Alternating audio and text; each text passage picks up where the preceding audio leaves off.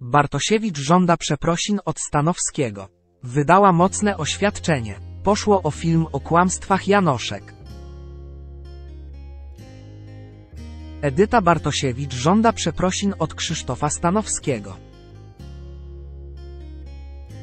Gwiazda jest oburzona tym, co wydarzyło się po premierze filmu o rzekomych przekrętach Natalii Janoszek, Natalię.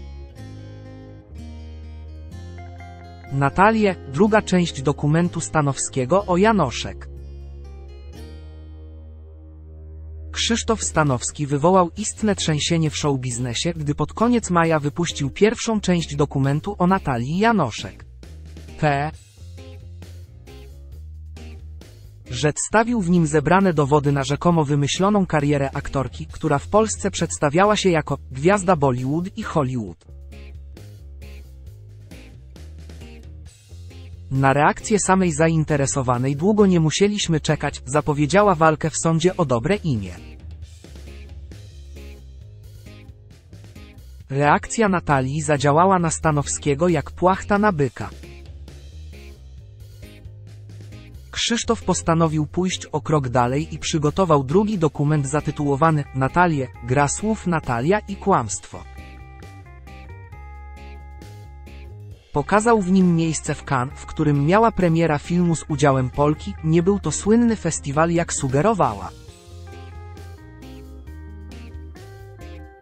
Stwierdził też, że celebrytka wcale nie spała w luksusowym hotelu Martinez, z którego udostępniała relacje, miała zatrzymać się w wynajętym domu znajdującym się około 10 km od miasta.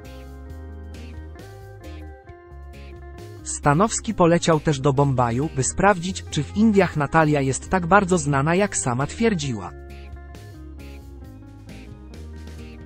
Na 100 zapytanych przypadkowych osób żadna nie rozpoznała aktorki. Poniżej nasza rozmowa z Krzysztofem nagrana tuż po jego powrocie z Indii do Warszawy. Edyta Bartosiewicz kontra Krzysztof Stanowski. Swój projekt, Natalię, Stanowski podzielił na kilka części. Każdą z nich rozpoczyna krótki przerywnik, w którym wykorzystano fragmenty przeboju Edyty Bartosiewicz, skłamałam, Piosenkarka nie jest zadowolona z tego faktu. W niedzielę wieczorem zamieściła taką oto informację na Instagramie. Kropka. Zadzwonił właśnie znajomy i spytał, czy oglądałam najnowszy film znanego vlogera małpa Krzysztof Stanowski na YouTube. Podobno pojawiają się tam fragmenty mojej piosenki Skłamałam. Chcąc nie chcąc weszłam na wskazany kanał sportowy i zaczęłam pobieżnie przeglądać prawie trzygodzinny materiał demaskujący jakąś panią z showbizu. Faktycznie, utwór pojawia się tam kilkakrotnie w krótkich odsłonach, będąc czymś w rodzaju muzycznego motywu, ilustrującego temat wodzącej za nos media celebrytki. Pan Krzysztof przyłożył się do roboty, to trzeba mu przyznać, zapomniał tylko zapytać mnie o zgodę.